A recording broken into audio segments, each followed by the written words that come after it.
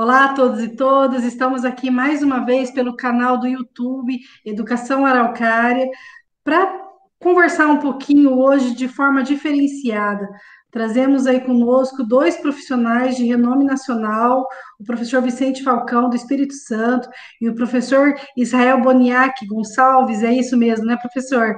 É um nome diferenciado que também está ali com a gente, também do Rio Grande do Sul? É isso? Santa Catarina. Santa Catarina. Santa Catarina, porque tem tanta gente que a gente está conversando ali de Santa Catarina, para dialogar um pouquinho conosco de, em várias pautas, mas principalmente no foco da formação continuada e da educação infantil. Lembrando que a educação básica, ali, principalmente nesse momento de pandemia, nós sabemos que a educação básica ela está sendo cobrada de um modo é, diferenciado, né? Hoje, com as atividades remotas, que é o que o município de Araucária está fazendo, e aqui para a região do Paraná, a maioria também é com atividade remota, sabe, professor Vicente, professor Israel? E a gente fica naquela grande pergunta, né? A educação infantil, como trabalhar com a educação infantil? Então, nesse sentido, eu vou passar a palavra primeiro ao professor Vicente, para que ele se apresente, fale um pouquinho do seu profissional, depois ao professor Israel, para que a gente possa começar muitas perguntas que vieram para mim, muitas dúvidas, não só dos profissionais da educação, mas também das famílias. Fizemos duas pesquisas já enquanto rede municipal de ensino, para ver as principais dificuldades, os maiores problemas que nós estamos tendo em relação a essas atividades remotas. Então, passo a palavra ao meu querido amigo, profissional, professor Vicente Falcão. Muito obrigado, é, obrigado Adriana, obrigado aí pelo convite. É, vai ser uma honra, uma satisfação enorme falar para os professores é, da rede de Araucária. E rapidamente, assim, o Vicente trabalha há mais de 20 anos na área de educação. É, começamos com formação continuada, depois começamos a fazer congressos, congressos, congressos, muitos cursos, é, sempre presenciais, né, muita coisa no presencial. E minha formação é na área de administração e na área de educação. Fiz mestrado primeiro na área de administração, com várias formações é, na educação, e aí o, o mosquitinho mordeu e foi entrando, foi entrando, a gente né, foi mestrado, agora no doutorado, enfim, muitas contribuições nesse Brasil inteiro. Hoje eu trabalho pra, com mais de 800 palestrantes também na área de educação, com formação continuada, com cursos para escolas, faculdades, prefeituras, enfim. Então, é, é uma, uma história de vida voltado para a formação de profissionais da área de educação. Então, muito obrigado pelo convite. Espero contribuir, espero trazer um monte de novidades, um monte de coisas legais para vocês e muitas novidades a partir de agora na formação continuada dos nossos professores no Brasil e no mundo. Muito bom, professora. Eu fico muito feliz de poder passar um pouquinho da sua tarde, da tarde do professor Israel, compartilhando alguns conhecimentos, trocando experiência. Eu acho que a função do professor é essa: trocar experiência, fazer o diferente com aquilo que a gente já tem de conhecimento, aquilo que a gente aprendeu nas nossas academias, na formação presencial, na sua formação enquanto profissional, mas que nós, enquanto serviço, também temos que ter enquanto formação continuada. Então, passo a palavra ao professor Israel para que se apresente, para que a gente possa começar aí o nosso bate-papo. Uh, boa tarde, Primeiramente, quero dizer que para mim é um prazer enorme estar aqui com vocês, dividindo né, esse momento que, de certa forma, está sendo proporcionado uh, devido à crise que a gente tem vivenciado. Né? Eu moro em Capinzal, Santa Catarina, né? e atualmente sou pesquisador na área da infância. Né? Desenvolvo doutorado, estou no final do doutorado, uh, também na área da educação infantil, né, porque eu fiz uma formação primeiramente em filosofia, psicanálise, neurociência, e atualmente no doutorado eu tenho então desenvolvido um projeto de pesquisa então na educação infantil. Uh, trabalhei como professor durante muitos anos e coordenador de curso de magistério, uh, fui secretário de educação aqui no meu município e atualmente trabalho com as abordagens relacionais, né? Então, desenvolvi um estágio em Stanford, na Inglaterra, e o meu último estágio, então, foi em Reggio Emília, né? uma cidade ali do noroeste da Itália, que em 1991 foi eleita pela revista Newsweek como tendo a melhor educação infantil do mundo, né? Então, a Reggio Emília se tornou uma referência mundial em educação e faz parte aí do meu objeto de pesquisa.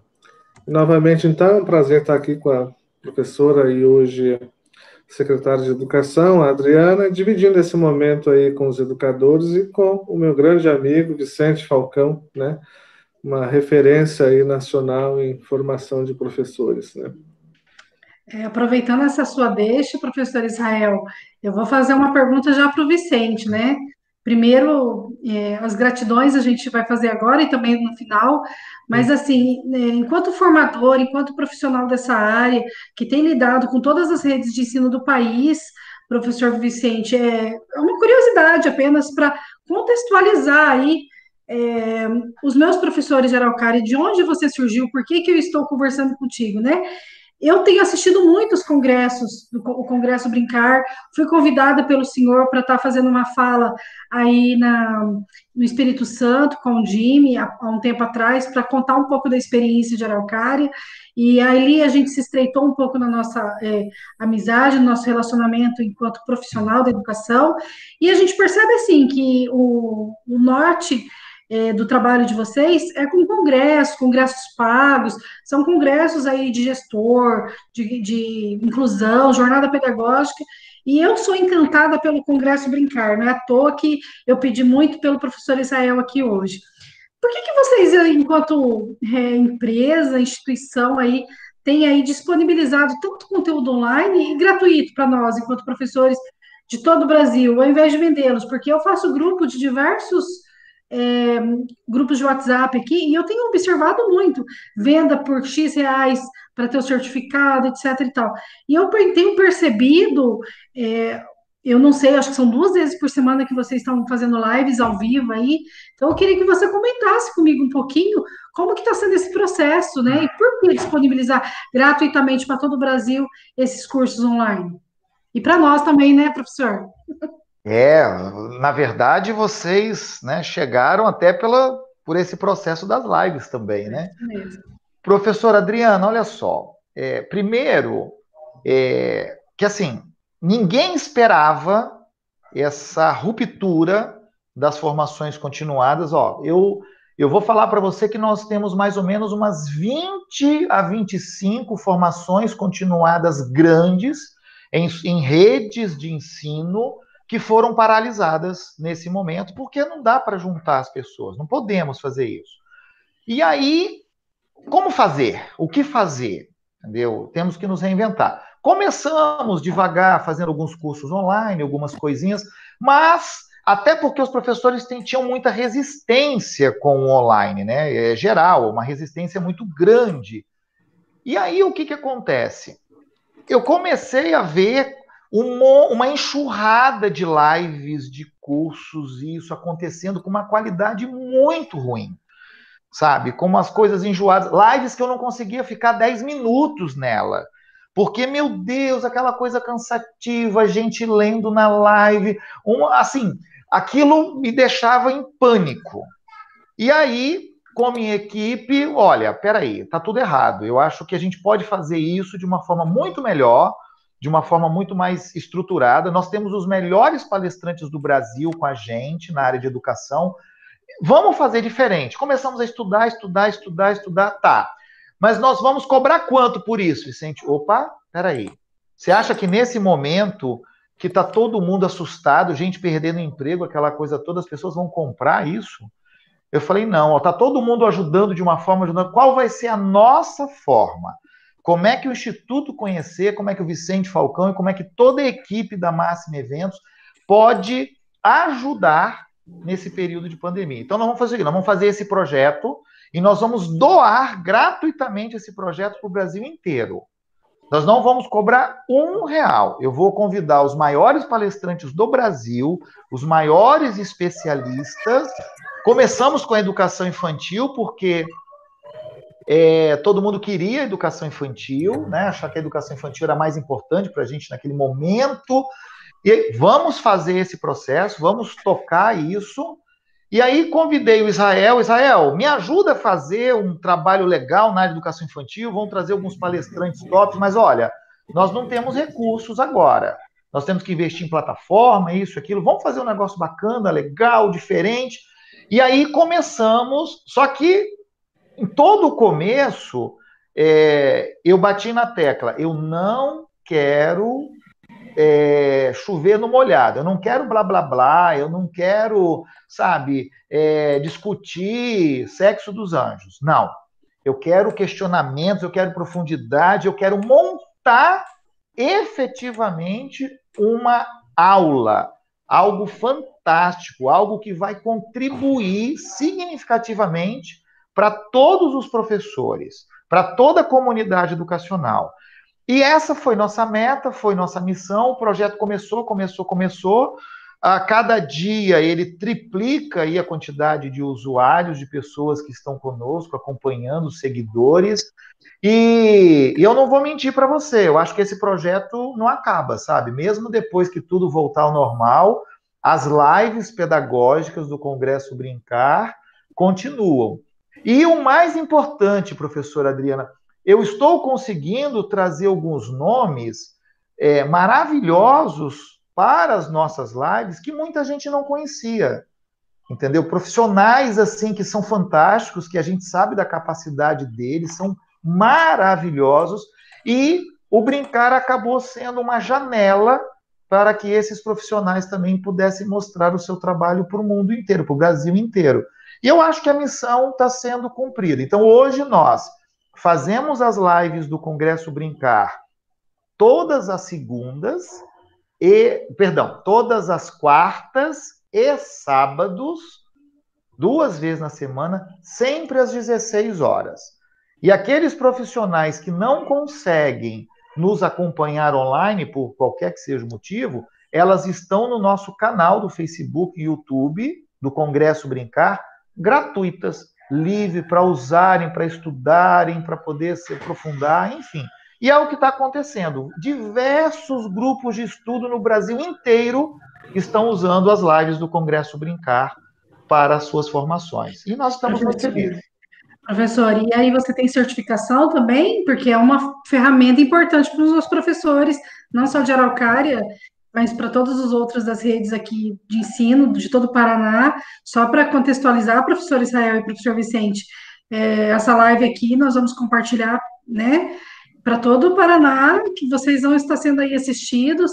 Então, assim, haverão sim outros profissionais que estarão ali linkando, entrando em contato, para receber certificação de formação continuada, né? É, em relação a isso. Aí, se você pudesse só para contextualizar, informar como é que é, como é que é esse acesso ao certificado, é, quem que certifica, como é essa certificação, para que a gente possa entrar aí de fato na nossa formação que estamos aí todos aguardando em então, específico. O Congresso, as lives do Congresso Brincar são um presente para uhum. todos. É de graça, não paga nada, não tem custo nenhum. Se vocês entrarem nos nossos canais, estão, estão todas as que nós já fizemos lá, todas, todas gravadas lá automaticamente. E nós emitimos um certificado exclusivamente para quem participou online. Uhum. Então, se a pessoa participou online, ela no final, sempre né, na metade ou no final, eu em algum momento eu lanço um link, ó, o certificado de vocês estão aqui. Aí a pessoa baixa aquele ah, certificado ah, automaticamente. É na hora, entendeu? Não tem essa coisa de assistir depois, não. Nosso é um presente. Então, nós valorizamos aqueles que estavam presentes com a gente na audiência ali. Por isso que dá duas mil, três mil pessoas nas nossas lives. Ótimo. E aí a pessoa entra, é, pega o certificado. Ah, mas eu assisti dois dias depois, três dias depois. Não. O certificado é exclusivamente. Essa foi a forma que nós conseguimos de, né, de criar um envolvimento aí grande com esses profissionais e fazer dia de estudo mesmo, entendeu? Então, as uhum. redes de ensino hoje sabem que os nossos certificados a pessoa só recebe se efetivamente participou da formação. E tem todas as instruções no nosso Facebook, no, no Instagram, tá tudo lá, muito fácil, muito, né? E o certificado também é um presente. Diferente de algumas lives por aí que estão vendendo certificado, a nossa não. A nossa só recebe o certificado se você estiver com a gente online. Ah, bacana. Vamos fazer uma pergunta para o professor Israel, para que as meninas também descansem um pouco, né, professor Vicente? A Bom. Vládia e a Simone, que está nos acompanhando aí, fazendo a tradução em tempo real conosco. Agradeço as, meninas, minhas meninas da rede municipal de Araucária e os meninos também que estão cuidando aí da parte do TI, o Ricardo, o Kleber, e toda a assistência ali do Departamento de Articulação Pedagógica, por meio da Diretoria Executiva de Ensino, que queira ou não queira, para acontecer tudo isso aqui, né, professor Vicente, tem que ter muito trabalho nos bastidores. Só para vocês terem uma noção, nós estamos desde a 1h20 conversando para começar a nossa live a partir das duas horas da tarde, né? Então, agora são 2h21, a gente já está com um tempinho, mas tudo antes tem todo um, um namoro, um diálogo, para que aí a gente consiga trabalhar de forma mais coerente em relação à formação efetivamente. Professor Israel, e os meus profissionais estão muito chateados no aspecto de que eles estão longe de suas crianças. A sala de aula, enquanto é, formação é, de grade curricular, formação de graduação profissional que nós tivemos nos cursos de licenciatura, não existem mais nesse momento. Porque tudo que a gente aprendeu em sala de aula, como ser professor, eu sempre brinco assim, meninas, pensem, a profissão de professor é aquela que a gente tem um exemplo, porque nós vivemos em bancos escolares durante quanto tempo? Então, você tem ali o exemplo do bom professor, você tem o exemplo daquele professor que tem uma diferencial, você tem vários exemplos. E, de repente, para-se tudo. A educação infantil, por sua vez, uma pegada, você sabe muito bem que eu sou muito contra essa questão de apostilamento, nos aspectos de que a criança fica é, robotizada, sem criatividade. Estamos aí numa. Era um ano de muita colheita com a BNCC, as competências e habilidades socioemocionais. Sou da área da educação infantil, tenho um. É, gestão e educação infantil é meu carro forte, alfabetização ali. Então, assim, eu vejo que tudo isso traz uma uma quebra de ruptura e um dizer não ao comodismo, né? Nós estamos que nós estamos tendo que nos reencontrar enquanto profissional. E aí fica a grande pergunta para a gente começar, como diz o Vicente, tem que ser taxativo para que a audiência vá lá para cima. O que fazer na educação infantil nesse momento, professor? O arroz com feijão a gente acho que está até fazendo, mas eu sei que tem essa vasta experiência, é, através dos seus estudos, do seu conhecimento, e que todos os dias a gente tem que buscar esse conhecimento, ele nunca para, isso é fato. O que, que você quer dizer aí para os meus professores que estão ali, os nossos professores do Brasil todo? Periodicamente se questionando: será que o tempo está sendo adequado? Será que não estão prejudicando a criança? Será que ela não está muito na tela do celular? Fala um pouquinho aí sobre essas experiências diante de todas as formações que você já fez em outras redes de ensino, até mesmo nas Undimes aí da vida de todo o Brasil, com o Vicente também nos congressos. O que, que você pode dizer para nós entre eh, em relação a isso? A educação infantil durante esse período de pandemia, o que, que a gente pode tirar de bons frutos? Fiz muitas perguntas, né? mas tudo bem. É, não, foi excelente a, a, sua contextualização. Eu acho que a, a primeira questão que a gente deve colocar em xeque, e isso acho que faz toda a diferença para o cenário que a gente está vivenciando, é reconhecer que nós tivemos grandes avanços na educação infantil nas últimas décadas e a gente não pode retroceder nesse processo. E dentro desses, desses grandes avanços, o primeiro está num conceito de infância que a base traz, que é fundamental, e toda uma estruturação, né, que parte do, dos eixos norteadores, que, né, que são interações e brincadeiras, até os direitos de aprendizagem de uma criança. De certa forma, uh, se a gente se atenta à base, isso nos traz um pouco mais de ânimo diante do contexto que a gente está vivenciando. Porque quem olha a educação infantil pelo olhar do ensino fundamental, deve estar sofrendo muito nesse momento. E essas duas palavras são chaves, Né? Educação infantil é uma coisa, ensino fundamental é outra. A, a LDB ela é completamente contra uma ideia de instrução dentro da educação infantil. E, de certa forma, isso vem ampliar um conceito fundamental, que é o conceito de currículo na educação infantil, e nos dá um direcionamento do que fazer nesse momento. Porque a base não foi feita para esse contexto que nós estamos vivenciando. Mas ela, ela continua sendo norteadora. Né? E aí é que está a grande questão. Né? No novo, no novo conceito de criança que nós temos na base, essa criança ela é protagonista, ela interage e modifica e cria uma cultura. Né? Então, ela não é passiva diante do processo. E por isso que eu digo que a gente não pode retroceder nisso. A gente não pode querer que, nesse momento, agora, tudo aquilo que nós caminhamos nos últimos anos, a gente coloque a perder, porque agora nós estamos diante de um contexto novo.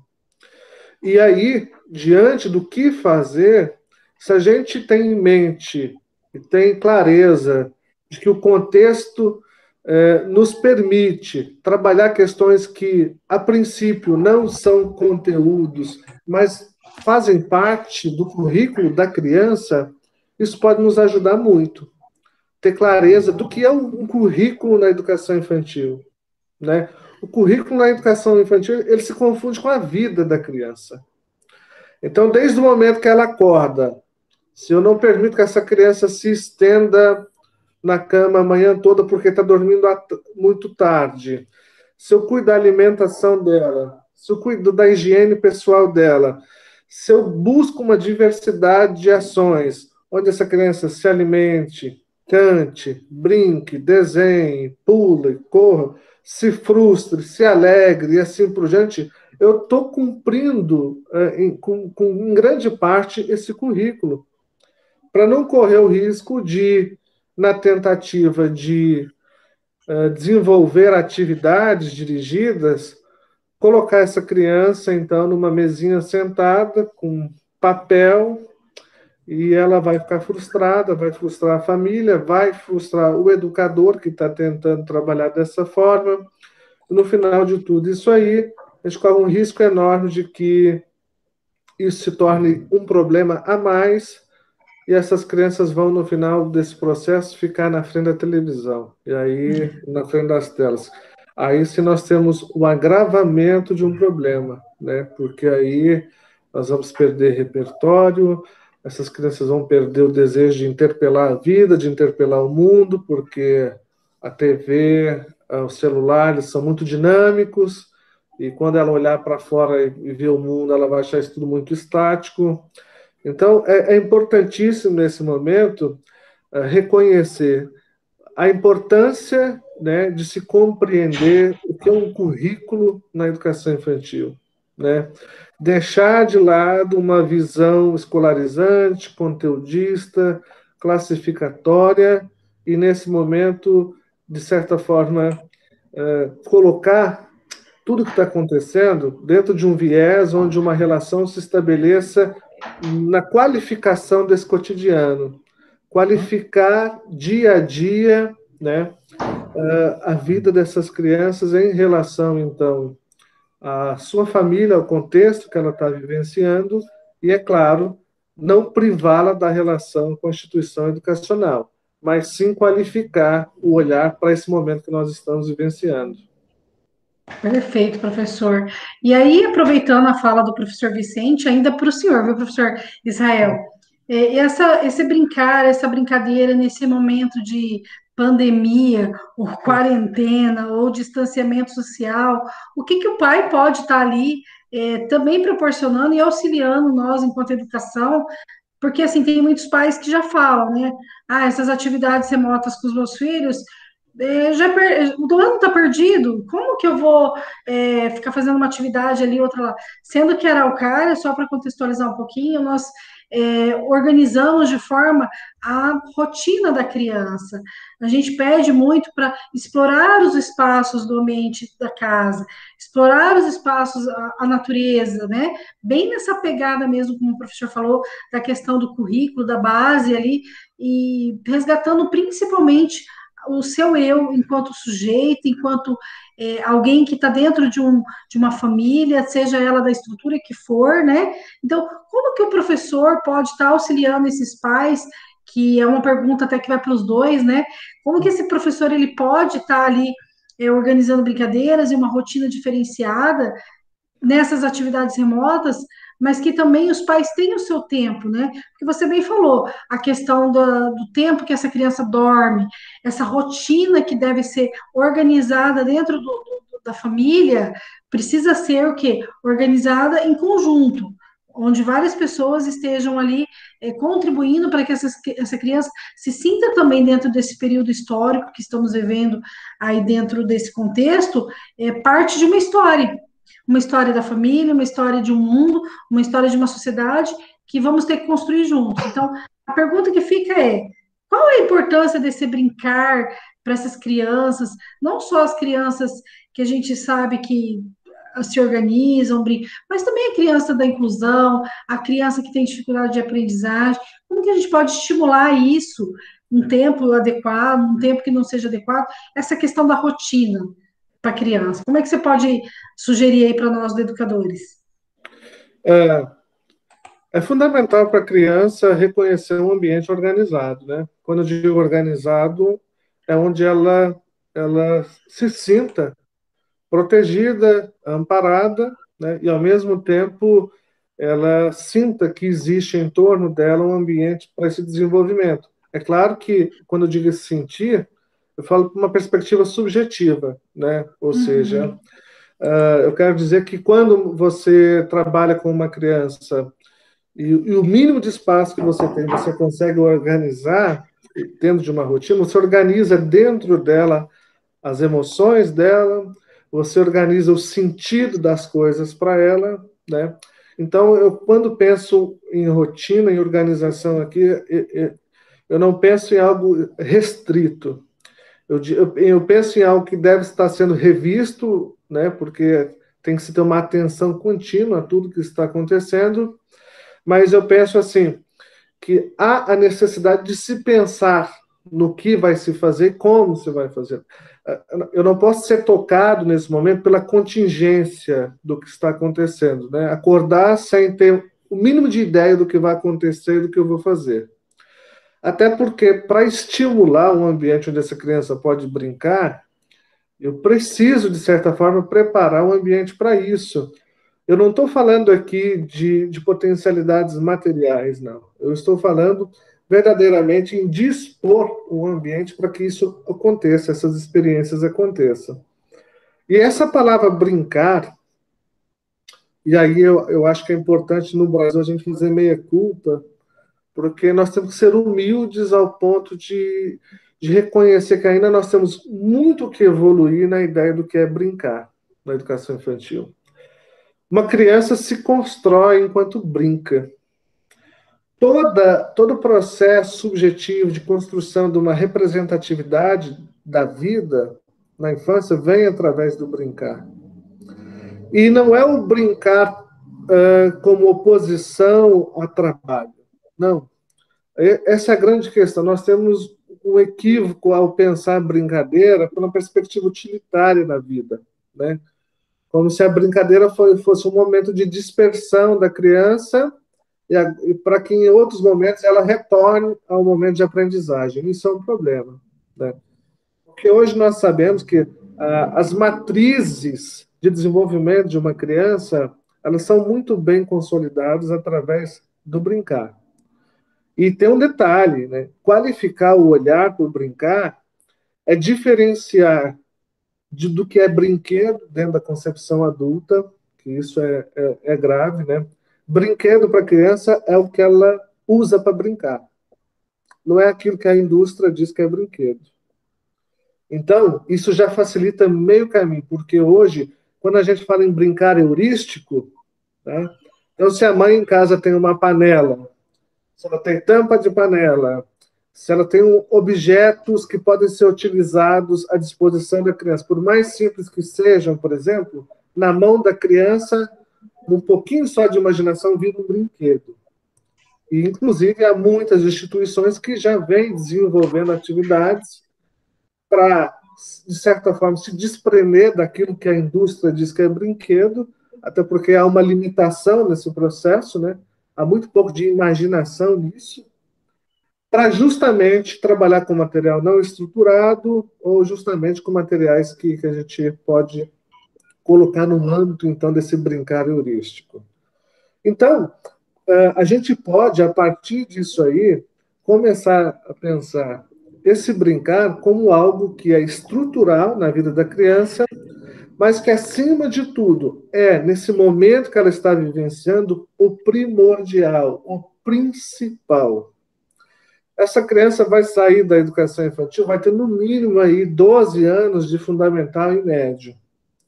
Então, o Malaguz dizia uma coisa importante, que é um dos fundadores de Reggio Emília, né?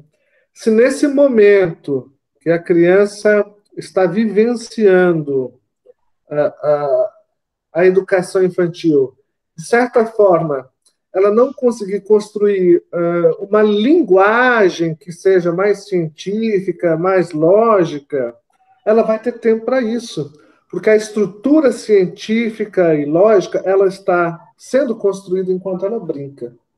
Isso é que é o mais importante, né? Então, quando uma criança Uh, vou citar um exemplo simples: quando uma criança brinca aqui com pedaços de objetos e tenta classificar, montar e assim por diante, ela está construindo conhecimento. Que nesse momento talvez fique sem uma linguagem específica que é própria da ciência, que é o que a gente diz aí, um conhecimento sistematizado. Mas no momento certo isso vai acontecer. Então, uma criança que brinca hoje tem um ambiente é, saudável, ela, de certa forma, está é, tendo, sim, o recurso, o subsídio necessário para essa fase. Então, é aquilo que eu coloquei, é respeitar o conceito de infância nesse momento. Porque se a gente for seguir a pressão da sociedade dos pais, que tem um olhar positivista da, da educação, nós vamos desprezar todos os estudos toda a fundamentação pedagógica que nós temos hoje, que nos impõe a necessidade de garantir esses direitos elementares da criança. Então, quando a base fala em conviver, brincar, participar, explorar, expressar-se e conhecer-se, não é à toa que isso está ali. Isso está ali para tentar garantir a integridade desse processo que estava sofrendo dentro da história, primeiramente, de uma perspectiva que era assistencial, e depois, que é o que é o problema mais grave no Brasil hoje, uma perspectiva escolarizante. O mais grave no Brasil hoje não é a perspectiva assistencial, é a perspectiva escolarizante da educação infantil. Né? Então, nós devemos educar o nosso olhar para isso.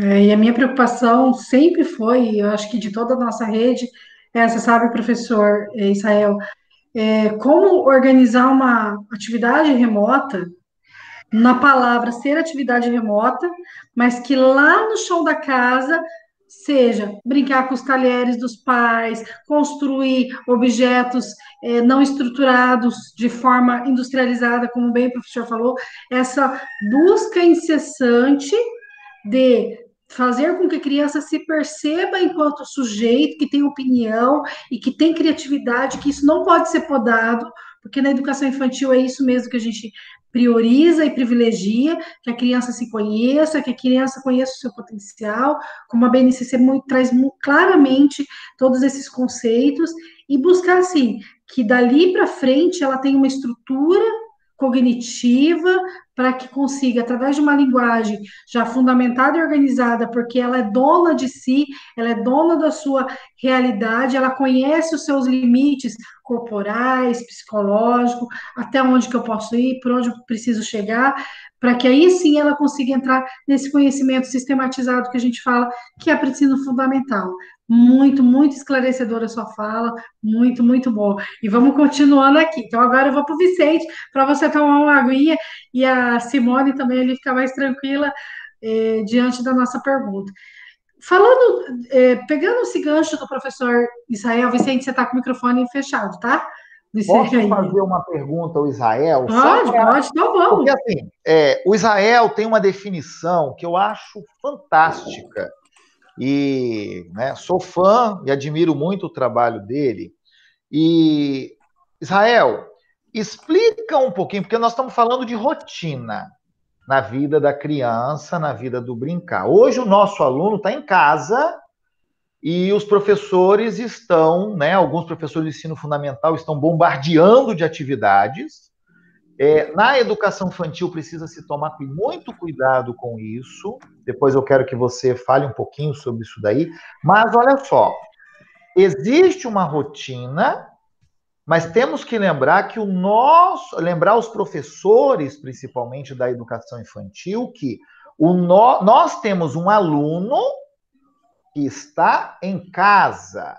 Ele é aluno dele, mas nesse momento ele está em casa com o pai. Como equilibrar essa rotina no enfiar um monte de conteúdo, um monte de atividades, é, e alguns pais, alguns professores, inclusive, querem transferir para os pais essa possibilidade de ensinar. Então, eu gostaria muito que você deixasse muito claro o que é a rotina do nosso aluno em casa, o que é que o pai tem compromisso e de quem é a missão de ensinar. A, a, sua fala é perfeita, Vicente. Eu acho que isso tem que estar muito em cena hoje. Primeiro, chegou o momento, acho que do mundo inteiro conhecer a importância de um professor e a gente tem que se dar esse valor. Né? Os pais não são pedagogos, a não ser aqueles que têm formação para isso. Né? Eles são pais e têm dentro do núcleo familiar, seja qual for a sua realidade, uh, graus de referência, que são diferentes, então, da referência do que é um educador. E quando eu digo que a gente tem que se valorizar, é que não dá para transferir isso, né? O olhar do pedagogo é de alguém que tem ciência, né, de quem apurou uh, uma prática ao ponto de ter o refinamento que a ciência nos oferece. Então, o olhar do educador diante de uma atividade é um olhar refinado.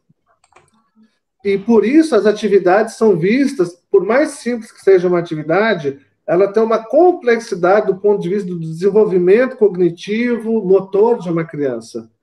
E a gente não pode, de um momento para o outro, exigir que os pais tenham esse mesmo olhar. Então, quando a gente diz, não, essas crianças são as crianças da minha turma, mas agora elas estão no ambiente da família, a gente já começa, por isso que eu disse assim, orientar as famílias numa perspectiva em que elas qualifiquem esse cotidiano e essa rotina, é extremamente coerente e é o que a gente pode fazer de melhor nesse momento. Tudo aquilo que eu tentar, ah, de certa forma, direcionar para a família, que a princípio envolve conhecimento prévio, uma experiência, uma bagagem de quem já tem chão de creche, e agora a gente quer, de certa forma, é, exigir que aquilo ocorra na família vai ser extremamente frustrante para as três partes: para a criança, para a família e para você como educador. Então, facilitar as coisas do ponto de que a gente, de certa forma, nos limite ao ponto de ter a coerência de reconhecer o que a família tem condições de fazer. E mais do que isso, gente, nós estamos vivendo num contexto único na história, sem precedentes, né? E se é um contexto único, sem precedentes, não existem certezas, não existem receitas, mas a prudência nesse momento é fundamental. Eu estou recebendo diariamente relatos de famílias, de crianças que estão passando por um momento de frustração muito grande, porque aquilo que está sendo proporcionado está um pouco além do que eles podem nesse momento oferecer. E é frustrante isso. Então, assim, eu acho que a, escola, a educação não pode estar ausente, ela tem que mostrar a sua identidade o tempo todo e, e a sua função, principalmente nesse momento, né, é, em termos de orientação, mas cuidar muito, inclusive com esse tipo de atividade que é proposta. Por quê? Nós temos uma diversidade muito grande no contexto real de cada uma dessas crianças. E não dá para simplificar isso, porque nós estamos cometendo um erro muito grande que é marginalizar o processo, né? Então, assim, essas particularidades, essas singularidades devem ser respeitadas.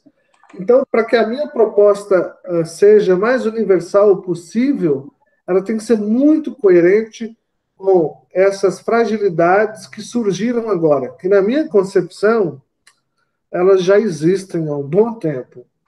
O que aconteceu é que esse momento evidenciou isso.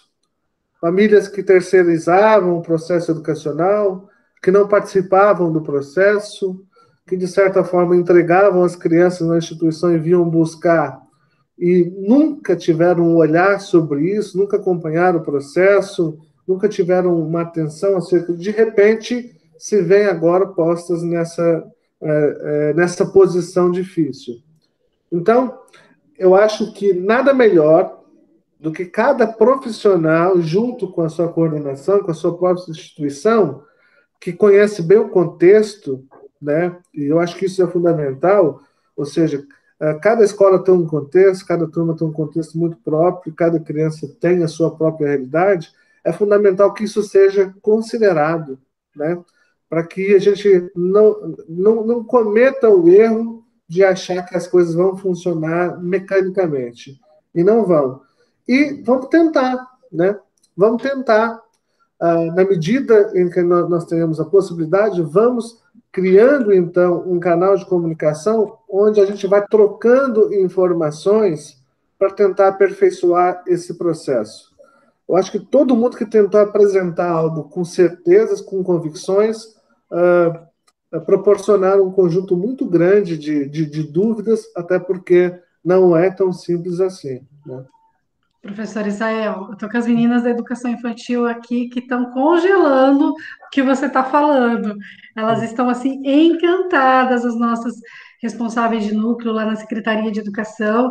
É, fizeram várias perguntas assim que brilhantemente o professor está discorrendo aí junto com o professor Falcão, e a gente fica muito feliz de estar atendendo a expectativa não só dos professores, mas também de estar tendo esse olhar enquanto sociedade. A gente precisa conhecer da educação, porque todo mundo gosta de falar de educação, mas ninguém sabe a importância desse papel que é o do professor. Então, é de fato o momento de buscarmos, acho que algumas palavrinhas chaves o professor colocou aí: identidade. Qual o papel da instituição dentro da sociedade? A educação ela tem um papel que é único. E esse papel único compete a quem? Ao professor. Ele tem que ser o protagonista. O professor ele não pode ficar aquém daquele contexto histórico que está sendo passado. Salvo exceções, aquilo que a gente sabe que é, não está no momento, não é o ideal, a proposta que estamos fazendo, não é o mais correto, né, professor Vicente? Não vamos é, atingir de forma de qualidade a todos e todas, mas precisamos mostrar que estamos aqui, que somos protagonistas, que temos sim o porquê. Porque senão, para que a gente precisa de professor? A gente precisa de professor porque é ele que direciona nós. E aí eu vou me incluir junto. Ele me direcionou. Hoje eu sou professora porque eu tive uma professora que falou: você tem o tato para ser professora. Eu fui fazer outra graduação e voltei para o magistério. Perfeito, Por, perfeito da colocação. É, a identidade, nós eu tenho um professor chamado Jesus Martim Barbeiro, eu não sei se vocês conhecem, é um livro chamado Exercícios do Ver. eu sou da área de comunicação também, né? E ele coloca muito isso, que nós temos na sociedade, ou tínhamos, né? A escola, a igreja e a família. Hoje nós temos o quê? A mídia que gerencia tudo isso, porque a família fica na frente da televisão, hoje não é mais a televisão, é o WhatsApp, a internet, é YouTube, né? E olha nós aqui.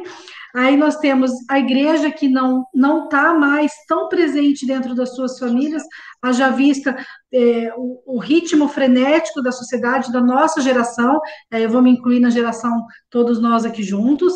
E também temos aí o que o único que restou enquanto pilar da sociedade é a escola. E a gente precisa bater no peito e dizer: eu sou professor, eu estou aqui, eu sou o detetor do conhecimento do que essa criança precisa aprender. E muitas vezes eu vejo pormenorizado esse papel do professor. Então, quando você fala dessa identidade, de buscar, de quebrar ruptura, de. E, e, independente do que a gente está propondo nesse momento, é falar: estou aqui, estou marcando território. Porque a educação ela não pode morrer, o resto tudo pode acabar, mas a escola ela precisa estar presente a todo momento. Hoje de manhã, numa tese de doutorado de uma aluna de, da UFR, que eu fui convidada a participar, é, a gente estava falando das estruturas do prédio, só para contextualizar. A estrutura do prédio está sem vida agora. Por incrível que pareça, eu tive prédio que quebrou os vidros sem aluno. E não foi gente que foi lá vandalizar. A estrutura do prédio. Porque é vivo, isso tudo é vivo. E se você ficar sem a vivência dessas crianças, o prédio está sentindo falta porque o prédio também é, é, um pelo outro, é um DNA. A educação, o DNA está no nosso, no, no, nosso sangue aqui, né? Então, assim, eu fico muito feliz com essa sua fala, dessa identidade, dessa dessa situação em que a gente precisa se colocar enquanto protagonistas, porque é a fala que eu vou fazer, que eu ia perguntar para vocês dois. E aí? Como é que fica essa formação continuada em serviço dos professores? Vai haver mudança nesse contexto? Sei que o Vicente colocou um pouquinho, que as lives provavelmente continuarão. A gente sabe que os professores estão aprendendo um pouquinho mais do que é educação à distância, lembrando que a educação à distância ela tem um formato, ela tem uma legislação própria, e não é o que a gente está fazendo aqui. Porque eu sou estudiosa também da educação à distância, e não é isso que a gente está fazendo aqui. Precisa de toda uma formatação. Mas, independente disso, professor Vicente, professor Israel, como que nós, professores, é, vamos aí, pós-pandemia, entrarmos dentro de uma sala de aula, ou até mesmo é, estudarmos, nos aperfeiçoarmos, é, se não através de conhecimentos, é, porque não vai voltar. Isso aqui tudo não vai voltar. A gente sabe que a educação ela vai ter atividade presencial no futuro, as formações continuadas deverão acontecer no meio de, é, ou de serviço, conforme cada rede chama, mas como que nós, professores, podemos é, nos ressignificarmos enquanto sujeitos diante dessa vivência que estamos tendo? Acho que eu vou passar um pouquinho a palavra para o senhor Vicente, aí, aí a gente complementa aqui. Tá bom. Professora Adriana, ó, é, eu vou, eu vou, eu quero só fazer duas considerações, né? Que é o seguinte: primeiro, a live é praticamente um evento. Olha quanto que a gente está conversando, falando para chegar nesse momento, quanto a gente já passou. Então, assim, muda a nossa rotina, horário, isso, aquilo, gravação, estrutura, tudo. É um evento, né? Eu costumo dizer que a live, uma live bem feita, bem estruturada, com gente que tem compromisso de fazer, de levar conteúdo, é um evento. É, segunda contribuição é nunca se deu tanto valor ao professor como nós estamos tendo agora. É, então, é, eu acho que isso até é um ponto muito positivo para a nossa categoria, sabe? Porque todo mundo fala de educação, é discurso, é bonito, é legal, falar de educação é ótimo, mas esse momento que nós estamos passando, essa sacudida, é, deu efetivamente aos pais uma nova visão, um novo conceito do que é efetivamente ser um professor. E quantos professores, vou colocar meus vizinhos, vizinhos de porta do meu prédio ali, do andar, aí eles, como eles estão assim, Vicente, como que a professora do meu filho dá conta de 30 alunos? se eu não dou conta dele em casa? E é meu filho, é minha cria, tá aqui. Faça ideia 30 numa sala de aula. Falei, ah, para você ver como é que é. Eu acho que a professora tinha que ganhar mais, que ela ganha pouco, a educação ganha pouco, né, pela complexidade que é o ensinar. E ele, ele sente não consigo ensinar, eu não consigo. Eu falo, mas não é a sua função essa. Mas eu não consigo, não consigo, é difícil essa interação. Ótimo. Então, esse momento todo também tem outro ponto de vista para nós que trabalhamos com formação, somos professores, estamos na universidade, estamos na academia.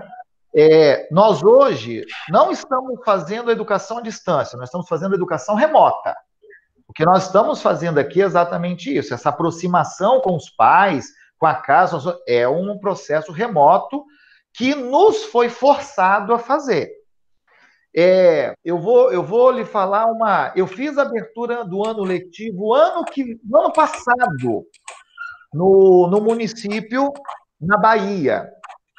E eu falei exatamente sobre isso, professor. A gente precisa se atualizar, nós precisamos conhecer melhor as mídias, a tecnologia. Assim, uma meia dúzia de professores estava rindo no fundo. Que nada, isso nunca vai acabar. Eu sou professor aqui, minha especialidade é matemática, eu sempre vou ter que ir no quadro lá ensinar. Matemática nunca vai ser substituído pelo computador. Como é que vai ensinar matemática pelo computador? Como é que vai ensinar a língua portuguesa pelo computador? Ah, não dá. Olha o que, que nós estamos vivendo hoje. Né? Então, o que, que aconteceu com a educação e o que, que aconteceu com a formação continuada? O que, que vai acontecer? Os cursos, os congressos, os eventos presenciais, as formações presenciais, a universidade não vai acabar. Mas nós estamos recebendo como se fosse um, uma aceleração. Nós aceleramos quase 10 anos aí, se a gente parar, e foi forçado. A educação no Brasil inteiro deu um avanço. Está fazendo certo, está fazendo errado, está fazendo bem feito? Não é essa a questão. Mas como que os professores agora, principalmente alguns que estavam estacionados, estão tendo que se movimentar, estão tendo que aprender a usar o Zoom, a usar o Meet, usar isso, usar outras ferramentas. Quantos professores que não sabiam pegar um celular e fazer uma selfie, fazer um vídeo para usar? Mudou isso. Você quer ver uma coisa? Como será essa escola nova que vai chegar no final da pandemia que não podia usar o celular e que agora vai poder? O ano passado, né, professor? Proibido usar celular. Agora entra com o celular. Como não? Entendeu? Uma charge, agora, agora tem grupo, agora tem WhatsApp, agora o professor interage, agora os alunos mandam informação, agora os alunos estão fazendo trabalho pelo WhatsApp. Entendeu? Olha só as mudanças que nós tivemos. Então, assim, alguns discursos caíram por terra, é, uma nova prática, um novo modelo está vindo por aí. Então, assim, é, na minha opinião, no, né, não só minha, como de outros grandes formadores, outros grandes nomes, como Novo e mais uma série de outros, o que, que acontece? Nós, nós vamos ter um avanço muito grande na educação, na nossa forma de ensinar. Entendeu? Então, vamos voltar às formações continuadas depois desse processo? Vamos. Só que a tecnologia entrou na veia. A tecnologia está no sangue agora, não está mais para fazer. Eu tínhamos formações que os professores não aceitavam fazer atividade. Como é que vai ser agora? Ó, existem duas, três aulas que estão lá na plataforma, no curso. Vocês vão assistir a aula, tem atividade, tem exercício, tem trabalho para entregar que vocês vão colocar na plataforma. Na semana que vem, a professora vai aparecer para tirar dúvidas, para fazer uma explicação e tirar dúvidas. Vai estar tá todo mundo ali, e esse é o processo habitual. Mas, Vicente, vai ter presencial de novo? Vai. O ser humano, nós, professores, precisamos de ter esse contato, de estar junto. De... Isso não vai acabar, só que vai mudar o formato. O formato das formações continuadas vai ser outro agora. Vai ter o presencial, mas o tecnológico, que era 10%, inverteu. O tecnológico vai ficar 50%. Eu estou para dizer que vai ficar meio a meio a partir de agora. Nesse período, o presencial é zero, a não ser o remoto, como nós estamos aqui.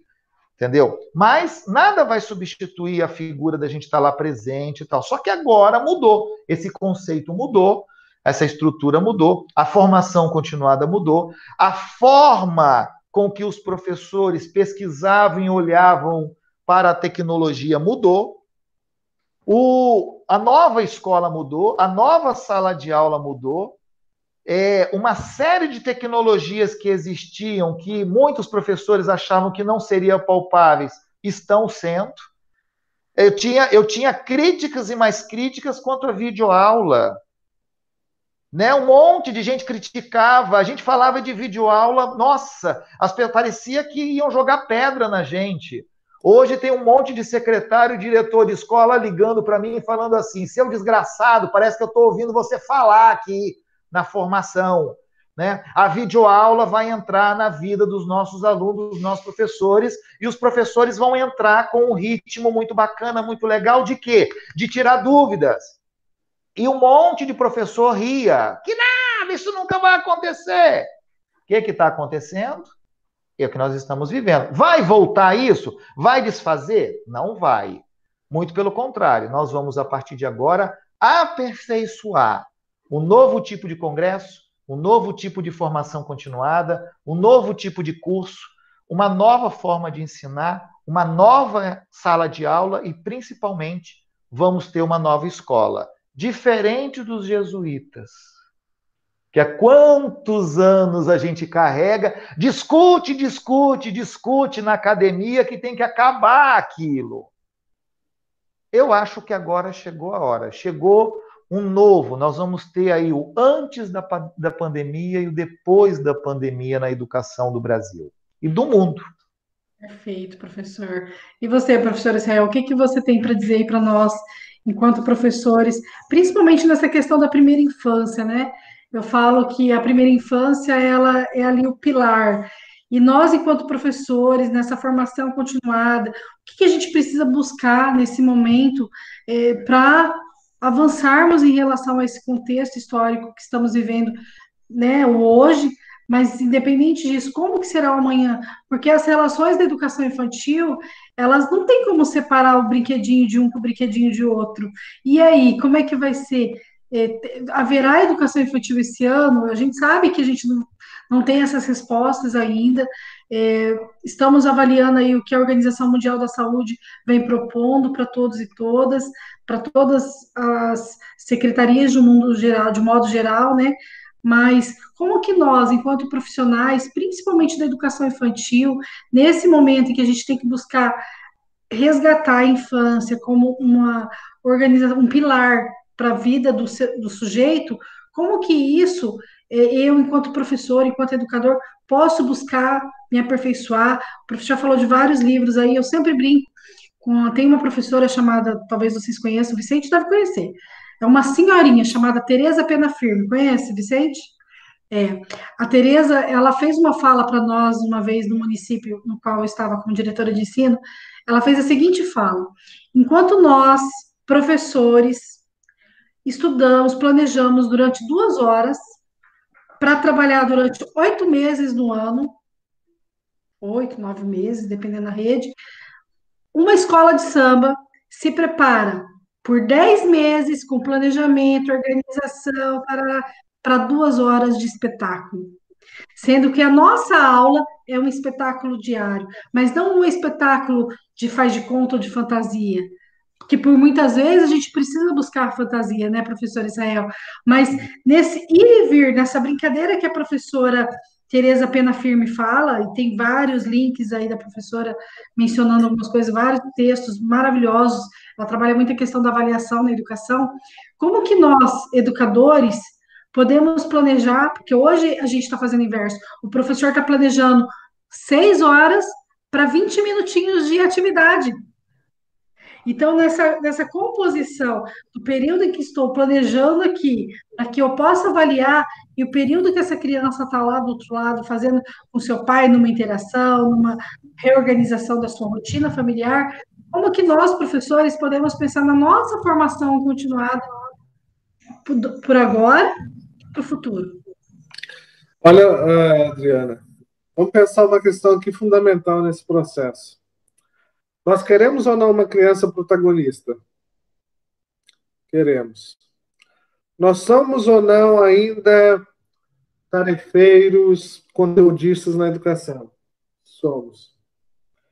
Uh, vamos pensar o seguinte: parte uh, do que nós estamos sofrendo hoje, uh, de certa forma, evidencia como consequência ainda uh, da nossa recente história na educação infantil. Né? Os países que já se consolidaram uh, e são referências na educação infantil têm aí 60, 70 anos de trajetória. O Brasil tá, o Brasil teve avanços fundamentais né, nas últimas décadas, mas o que, aonde eu quero chegar com essa reflexão? Deixa eu citar um exemplo. A LDB não permite a aula que não seja presencial na primeira infância. Ela não permite. Uh, e hoje a gente está vivenciando um contexto como esse. Uh, é, é, fácil perceber que numa turma onde o educador já, de certa forma, praticava uma pedagogia da escutatória, que trabalhava com menos atividade dirigida o tempo todo, que direcionava as atividades e permitia que a criança, de certa forma, vivenciasse as suas experiências, ele se concentrasse, mobilizasse a sua subjetividade para essa aprendizagem, uh, hoje sofre menos. Porque uh, existe um ditado que diz assim: uh, aonde falta a imaginação tem que sobrar mágica. E quando eu falo mágica, eu falo em trabalho. Então, se falta a perspectiva da autonomia, da imaginação, do lúdico, se essa criança não tinha tempo para explorar isso de forma livre, tendo como estímulo o direcionamento da professora e o ambiente, e ela tinha uma dependência de a cada minuto estar tá sendo direcionada por uma atividade, as consequências disso estão sendo sentidas agora e de forma, eu acho que um pouco mais comprometedoras.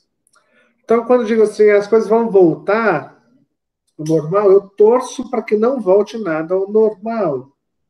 Eu, eu torço para que esse momento nos dê a possibilidade de pensar um pouco mais sobre essa pedagogia da escuta, da observação, né? Numa pedagogia onde uh, os educadores conversem menos entre si, um pouco mais com as crianças, né, escutem o que elas têm, a evolutiva que ela nos dê, até porque, uh, vamos pensar assim, hoje a gente está lidando, então, com a, a questão online. Uma das grandes questões que bateu na porta de nós, educadores e das famílias, é que nós não temos autonomia nesse processo ou a gente o tempo todo dá atividade, muito, direciona muita coisa para passar aquele tempo, para cumprir aquele período, ou parece que está vago. Então, assim, é, é, nós parece que percebemos que nós, o nosso uso das tecnologias é, não, não está acontecendo da forma correta. E agora nós temos, então, que ressignificar esse processo. A atividade remota né, o próprio nome já diz, é diferente do ensino à, à distância, onde há uma sistematização do processo e você tem que criar meios para que seja oferecido o saber e você consiga avaliar isso. É fundamental você é, reconhecer o aspecto é, de avaliação.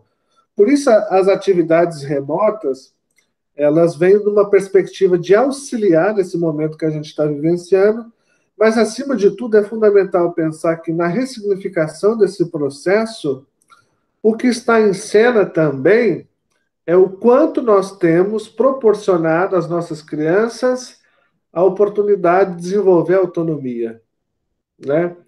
Então, se eu consigo, dentro do meu grupo de crianças, desde, desde o início, uh, uh, reconhecer que é importante que elas tenham tempo, que, que esse tempo oportuno seja respeitado, que essas singularidades, essas particularidades sejam respeitadas, que a rotina de uma creche não seja uma rotina pela perspectiva do olhar do adulto, que não seja um ambiente onde o adulto trabalha, mas sim seja tudo em conformidade e estruturado para que a rotina da criança seja mais saudável, eu acho que nós, ah, de certa forma, teríamos um pouco menos de, de problemas como nós estamos enfrentando hoje. É claro que nós estamos num processo de, de formação para isso.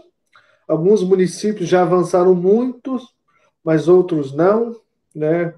Uh, eu dei uma aula ontem uh, para o Maranhão, por exemplo, né? usando a tecnologia. E eles me, me confessaram quanto, por exemplo, eles estão tendo dificuldade, porque eles ainda têm uma perspectiva de preencher tantas horas atividades dessas crianças em casa. Ou seja, é o olhar, é a mentalidade acerca do que é a infância, do que é o trabalho pedagógico que precisa ser mudado. Então, são educadores reféns de uma perspectiva, criando uh, uh, essas crianças, desenvolvendo essas crianças num ambiente ainda mais refém disso, onde elas não podem, uh, por exemplo, fazer aquilo que a base propõe, que é, de certa forma, modificar o meio que elas vivem através dessa, dessa interação mínima. Então, a minha torcida é que as coisas não voltem ao normal. É que, de certa forma, a gente possa refletir, depois desse momento, o quanto é fundamental a gente desenvolver autonomia numa criança. Tudo aquilo que eu fizer por ela, em termos de roubar dela a possibilidade dela desenvolver uma autonomia, eu não estou contribuindo, né? de certa forma, estou prejudicando.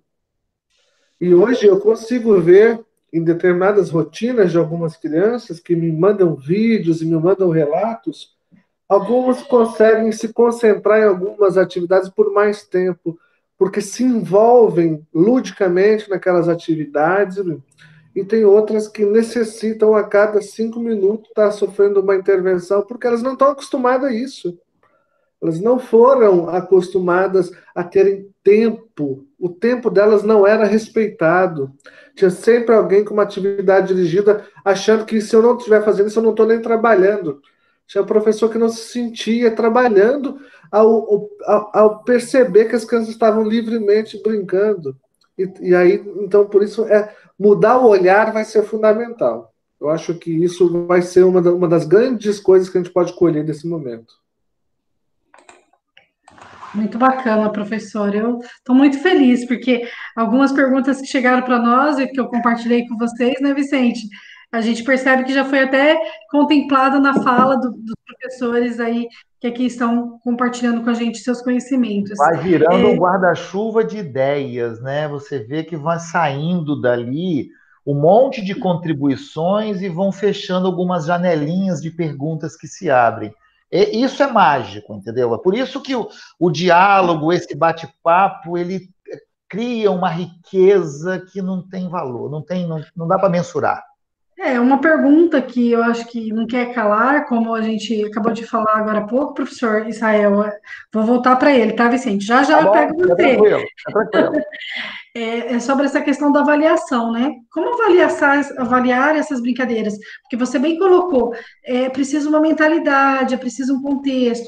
Eu, eu tenho conversado com os meus municípios parceiros, aqueles que é, às vezes me ligam, questionam, a gente acaba criando afinidade por onde passou, por onde permaneceu, e também por outros que a gente acaba agregando, agora aqui na região metropolitana de Curitiba.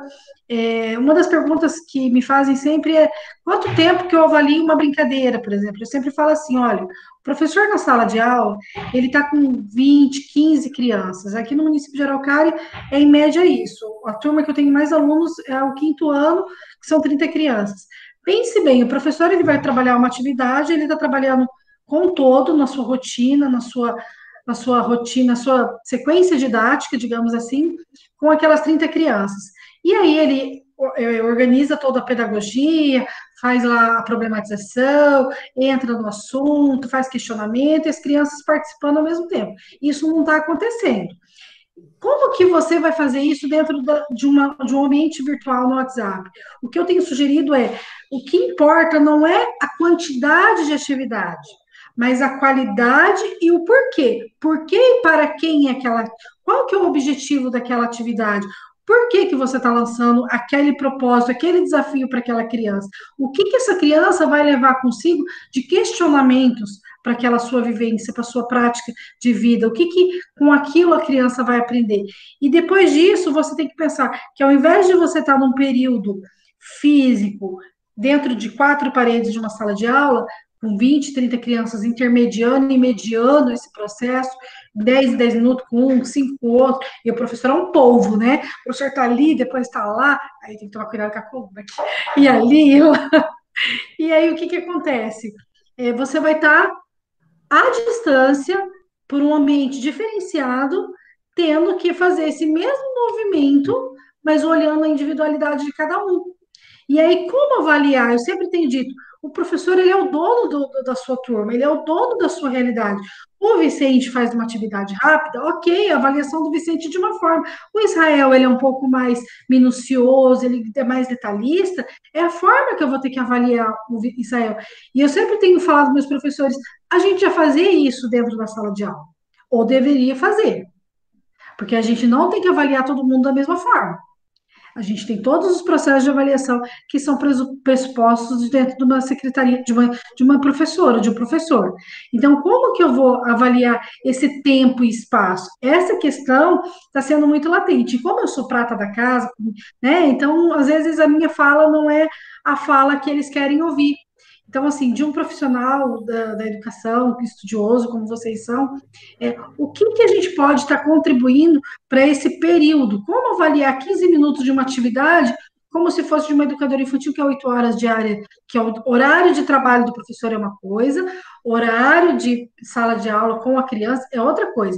É outra diferença que a gente teve que estar ali pontuando, dialogando sempre, sabe, professor? Então, assim, se você puder contextualizar sobre essa questão em específico da como avaliar a aprendizagem através dessas atividades lúdicas que nós estamos propondo durante essa pandemia, principalmente na primeira infância.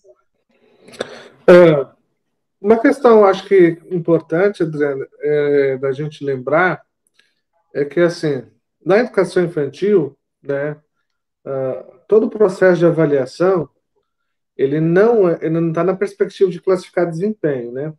Ele está na perspectiva de, de proporcionar subsídio para o educador para compreender o desenvolvimento dessa criança e melhorar, então, pedagogicamente as atividades para que essa criança tenha garantido alguns direitos de aprendizagem e evolua nesse processo. Então, o olhar atento no, no processo de avaliação da educação infantil, eu ainda classificava eh, como, antes da pandemia, a melhor forma de avaliação é a documentação. Né? Porque a documentação permite ao, a, ao pedagogo aperfeiçoar o olhar sobre o desenvolvimento dessa criança. Quando você se detém na observação para fazer essa documentação, e aqui vou lembrar, só em termos de recorte, uh, quando o Malaguz uh, implementava a metodologia dele em Régio, ele ensinava os professores a fotografar. Por quê? Ah, mesmo que naquela época não existissem os celulares, um investimento fundamental que as creches, que os nidos faziam na Itália, era ter uma máquina fotográfica para pegar o ângulo correto para que você pudesse, através de, de, de, desse refinamento do olhar, enxergar também o desenvolvimento da criança enquanto ela executa uma atividade. E essa atividade não pode obedecer alguns critérios que, como uh, dizia aí um fundamentador da sociologia da infância, que é o Sarmento, ela não pode obedecer aos critérios de uma criança produzida uh, com um olhar moderno e utilitário que a vida tem. Então, assim, vou citar um exemplo. Eu tenho uma criança agitada e uma criança mais lenta. E dou um pedaço de argila ou de massinha para cada uma dessas crianças brincar ah, o resultado desse processo, ou seja, o que essa argila causa para essa criança agitada, é diferente do que essa mesma argila provoca numa criança que é mais lenta. Porque a subjetividade da criança ela é mobilizada enquanto ela executa uma tarefa. Então, ou seja, essa criança está por inteira envolvida naquela atividade. E isso considera, então, todas as suas particularidades, as suas singularidades. Então, eu não posso estabelecer um objetivo X e avaliar agora a partir disso aí. Quem atingiu, quem não atingiu, quem fez como eu queria, quem fez como eu não queria. Muito pelo contrário. Essa criança tem, tem que ter o direito de, ao manusear, por exemplo, esse objeto, uh, dar os desdobramentos que, para ela, naquele momento, são importantes. Então, uma vai picar em várias bolinhas, uma vai fazer uma grande, uma vai tentar fazer um boneco, e isso é fundamental. Um dia eu acompanhando uma, uma atividade eh, onde as crianças estavam brincando uma caixa de areia, né? Uh, umas faziam castelinho, outras faziam casinha, outras pegavam, enchiam um baldinho de areia, botava, e tinha uma que alisava essa areia, ela só alisava. E havia a frustração da professora interferindo umas quatro, cinco vezes para que ela pegasse um baldinho, para que ela também fizesse um morrinho, alguma coisa assim. Que pelo olhar da professora, se ela não fizesse aquilo, tinha algo errado. E eu tentando argumentar com a, com a pedagoga, dizendo que se naquele momento para ela alisar aquela superfície é o mais interessante e o mais importante, se ela conseguir cumprir esse objetivo aqui, é nisso que ela concentrou, que ela canalizou a sua subjetividade para desenvolver uma relação com aquela areia naquele momento. Não pode ser algo único. Então, assim, a, gente, uh, uh, digamos que a gente grava um vídeo de uma atividade uh, de pintura, de desenho, né? A gente envia isso para que a família execute com a criança. Os desdobramentos disso são variados. O que eu devo observar, de certa forma, é, se houve envolvimento, até porque isso vai direcionar as minhas atividades, que eu possa aperfeiçoar meu olhar nisso, e diante daquele envolvimento, o desdobramento disso deve ser considerado se há um processo contínuo onde a criança está se desenvolvendo. E isso é fundamental. Mais do que. Uh, e aí vou dizer assim, né, não é claro a realidade no município de Araucária, no Paraná, mas existem lugares que os professores têm fetiche. Fetiche de achar que as crianças aprendem da mesma forma, do mesmo jeito, no mesmo tempo, que se interessam da mesma forma por aquela atividade, que vão se concentrar o mesmo tempo diante daquilo que lhe foi proposto, e não é assim, as coisas não são assim, né? Então, nesse momento, apurar o olhar, eu acho que vai nos proporcionar a oportunidade de tentar claro, mesmo de forma hoje é muito mais precária, tentar documentar aquele, aquele acontecimento. Esses dias, uh, uh, o Rio Grande do Sul está elaborando um documento onde pediu que nós relatássemos experiências que a gente tem vivenciado com as crianças nesse momento. E eu relatei um momento em, onde uh, tinham duas crianças numa família e elas estavam no momento de, de, de alimentação e comecei a relatar uh, o momento em que uma tenta ajudar a outra, porque elas estavam aprendendo agora a manusear os talheres, eram crianças pequenas, e o quanto uh, eu assisti aquela cena, o quanto foi importante para mim, como educador, aprender uh, observando elas. Né? O feedback que elas me deu, nenhum livro me daria, né? porque eu pude observar, por exemplo, a confirmação de uma, de uma teoria importante, como a teoria do desenvolvimento humano aí de Vygotsky, Piaget e assim por diante, né? Então, ter a coerência de, nesse momento, se despir de algumas coisas que aparentemente estavam prontas e apurar o olhar para descobrir coisas novas. Né? Eu acho que isso é importante. Deixa eu voltar aqui o áudio, né? Que a gente fica aqui no, no mudo. É, perfeito, professor. É, é, aquilo que a gente falou, esse bate-papo é para isso mesmo, né, professor Vicente? É para colocar um pouquinho dessa ansiedade do professor, da família, de como trabalhar, porque o nosso principal objetivo é atender a criança de forma eficiente, que a gente consiga fazer com que essa criança é, tenha o mínimo de vínculo possível dentro de uma realidade contextualizada, com o porquê e um para quê, né, professor Israel? Sem ser atividades é, fragmentadas, sem ter uma sequência lógica, que o conteúdo seja algo que a criança tenha conhecimento, ela busque aquilo que ela sabe. Estou falando um pouquinho até mais de conteúdo por conta também do ensino fundamental, nós temos até o Fundamental 2 na nossa rede geral CAI, mas em todo o independente de qual etapa da educação básica nós estamos falando, é deixar claro que a educação ela tem um começo. A criança ela precisa ter estímulos, seja em qualquer etapa Inclusive nós, o professor Vicente me mandou uma, uma frase, eu vou ler aqui para vocês, de Paulo Freire, né, professor Vicente? Sem a curiosidade que me move, que me inquieta, que me insere na busca, não aprendo e nem vou ensinar nunca, né? Nem ensino. Então, o nosso grande Paulo Freire falando aí sobre essa curiosidade. Se a gente não tiver curiosidade, a gente não vai estar aqui junto. Se a gente não tiver curiosidade, a gente não vai fazer uma coisa diferente. Se a gente não quiser buscar o diferente, né? Nós não vamos conseguir avançar nunca. Então, assim, falar de professor, falar de família, falar de pandemia, é falar que a gente também não sabe de algumas coisas, né? É ter a ciência e o principal mérito do ser humano, que é saber é, identificar que a gente não sabe de tudo. E eu acho que a humildade de saber que eu não sei de tudo é o principal para o momento como estamos vivendo. É, os livros nossos, né, professor Israel, os nossos teóricos não falavam de como trabalhar numa época de pandemia. A didática, seja de é, Libânio, seja de qualquer dos nossos aí pais e mestres que nós estudamos durante o contexto da nossa graduação, formação profissional, não nos trazia o que é uma vivência como estamos vivendo. E nós teremos que escrever essas vivências agora. E que vivências queremos escrever, desenvolver e apresentar? Essas que sejam mais possíveis, que seja de forma assim, é, o melhor possível, que seja atendendo a, a expectativa da família, da criança e principalmente da sociedade, né?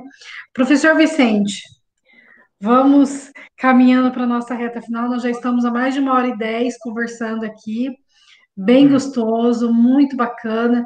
Vou destacar que essa, essa live só foi é, possível através do, do, nosso congresso Brincar ali do Instituto, né? E agradecer ao professor Vicente de nos ter apresentado o professor Israel, que é um profissional aí que tem se destacado muito na educação infantil, tem escutado muito, tem lido muito a respeito dos seus estudos e das suas buscas e inquietações periódicas e diretas, porque, como eu acabei de falar, se a gente sabe, a gente não, não, não deveria estar estudando tanto, não deveria estar buscando tanto, porque aquele que sabe busca, aquele que, né? Então, assim, eu queria que o professor Vicente colocasse um pouquinho para nós, então, para finalizar, sobre essa questão do pós-pandemia, como é que vai ser essas formações, o professor já falou um pouquinho sobre isso, mas mais específico, vamos ter congressos?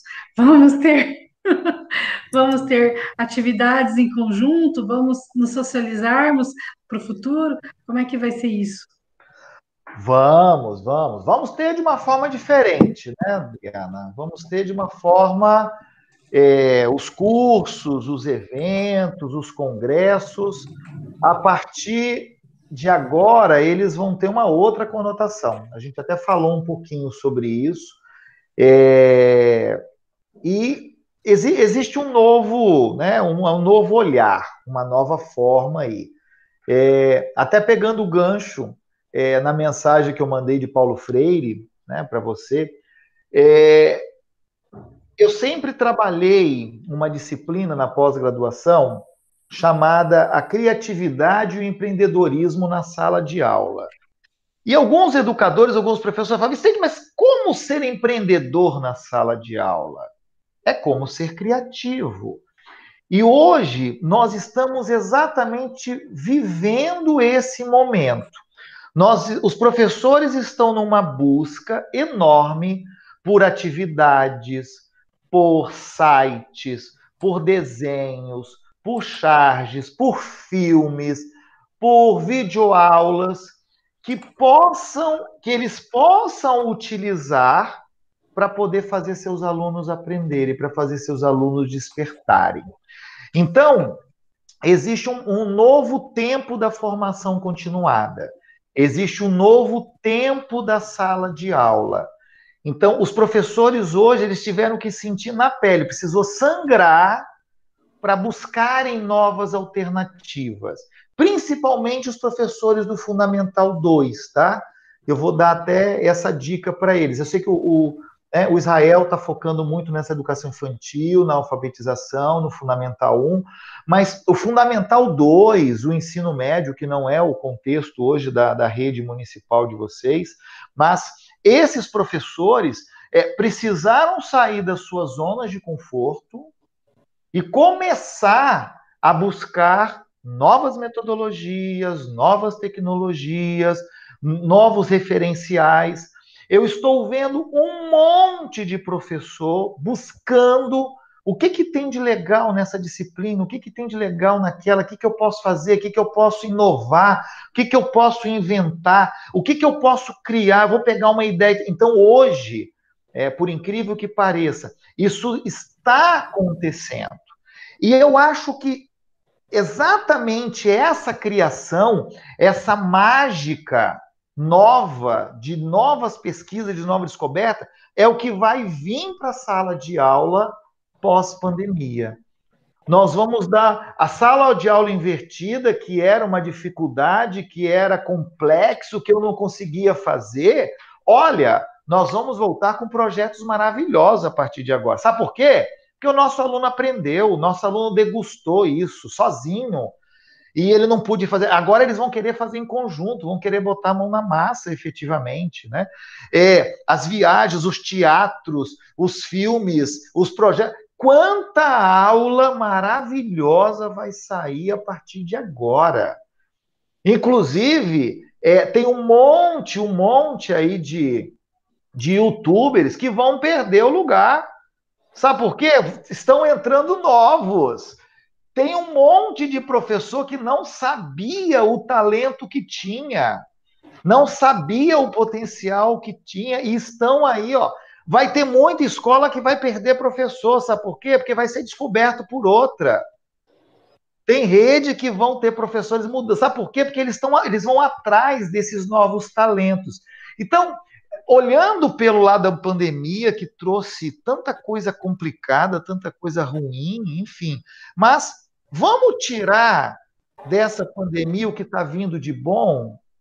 Vamos tirar dessa pandemia a revolução que nós vamos ter agora na sala de aula, no ensino, essa é, é, é, nós pegamos a caixa chamado sala de aula, escola, e deu uma sacudida. Mudou. Nenhum professor vai voltar como era antes. Não tem como. Até porque o seu aluno veio diferente agora. Ele chega diferente. O aluno da universidade, o aluno né, do, da educação básica, vai vir diferente. E assim, eu queria complementar um pouquinho que, é, inclusive, nós teremos uma família diferente. Aquela família que não ia na escola, que não estava nem aí, que largou para lá, olha, acendeu uma luzinha. Eu estou vendo um monte de pais preocupados eu estou vendo um monte de famílias antenadas com situações que antes não estavam. Eu estou vendo um monte de pais preocupados em tentar interagir de alguma forma, alguns até impotentes pelo conhecimento, por estarem muito tempo fora da escola, aquela coisa, mas eles estão tentando buscar e ajudar os filhos a buscar novas alternativas. Então, esse momento de formação continuada, esse momento de, da nova escola, de um, de um novo né, modelo até educacional, eu acho que a, a pandemia fez uma revolução, mexeu aí um pouquinho, né, tirou todo mundo aí. Na verdade, mexeu na água do rio, sabe? Ficou turva, mexeu. Né? Então tem muita gente se encontrando, muita gente buscando. Claro que tem alguns que não estão nem aí, tanto faz como tanto fez. Mas não é a maioria, né? não é a grande maioria está buscando algo novo. Deu algo novo. E eu acho, eu acredito que nós teremos novos modelos de formação, novos congressos, novos professores, novos youtubers, novas aulas, novas tecnologias, novas metodologias.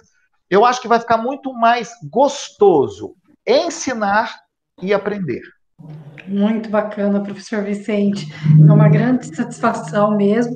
E só retomando, né, que nas quartas e nas sextas-feiras, às 16, e nas quartas e nos sábados, às 16 horas, a part, é, através do canal do YouTube do Congresso Brincar, Facebook, né?